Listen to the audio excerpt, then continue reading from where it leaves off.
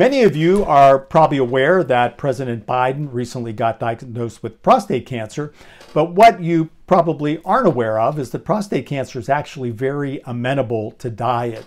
In this landmark study uh, by Dean Ornish and his group, uh, they took 93 men with early prostate cancer. They put half of the group on a plant based diet, the other half on a standard American diet. Uh, and what they found in one year is the PSA level went down 4% uh, in the plant based group and went up 6% in the standard American diet group. They also looked at uh, epigenetics and they found that there were 48 good genes that were upregulated and there were 453 genes that were downregulated in the plant based group. So there was a very positive effect on gene expression. Now, on social media, there are many proponents of these ketogenic diets.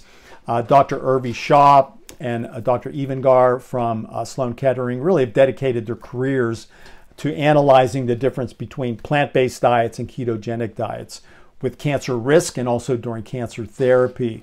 And they've come to the conclusion that a plant based diet works better than a ketogenic diet. In fact, Urvi Shah recently published this very impressive study on myeloma uh, she found that uh, the myeloma patients did much better when they were on a plant based diet.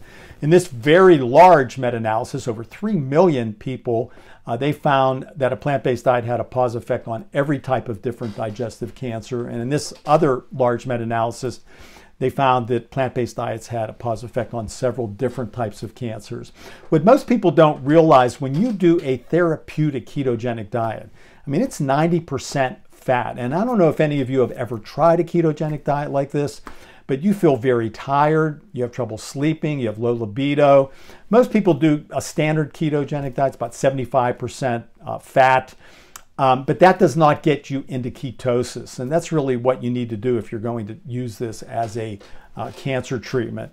The thing I don't like about either of these ketogenic diets are very high in saturated fat. The saturated fat accumulates in the muscle cells and also in the liver cells. And what it does is it mucks up the insulin receptors. Uh, the insulin can't get the glucose into the cell. And uh, as long as you are doing the ketogenic diet, your blood sugar will be low.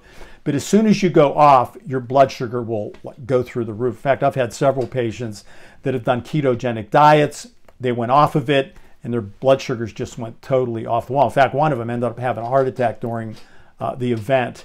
The other thing long term uh, is that this will increase your LDL and your ApoB. And I don't care what anybody says on social media. I mean, study after study has shown that the higher your LDL level, the higher your chances of getting cardiac uh, events like heart attacks and strokes.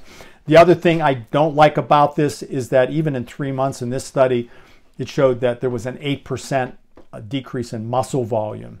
Um, and the reason this happens is your body does prefer glucose over ketones. So it'll start breaking down your muscle into protein, protein into amino acids, and amino acids into glucose. Uh, there are several studies now that are coming out that showing these ketogenic high fat diets actually make these cancers more aggressive. Uh, they increase the amount of clotting factors, increase inflammation. They can actually alter the blood vessels so that these cancers can actually uh, spread and be more aggressive. So I recommend a whole food plant-based diet if you take a screenshot of this. Um, if you want to eat meat, I recommend a fatty fish like a wild-caught salmon, uh, anchovies or sardines are even preferable to that because they have less toxins in them. But try to keep your plants to anywhere from 90 to 95% of your total uh, intake. And just remember that cancer has three different feeding sources. If it doesn't get enough glucose, it'll go to cholesterol or it'll go to glutamine protein. Um, the thing I like about a plant based diet, like I personally eat probably about 60% complex carbs, 20% uh, fat, which is primarily monounsaturated, polyunsaturated fat, and then uh, about 20% protein. Um, so the thing that you really need to understand is that you do need to keep your carbs complex. As long as you do that, your blood sugar levels will be very, very low and steady. Don't eat refined carbs like all this junk food that you see on the left. So I hope this helps you. And if you're interested in a consultation, just go to my website, hit shop, virtual consultations, and I would love to chat with you.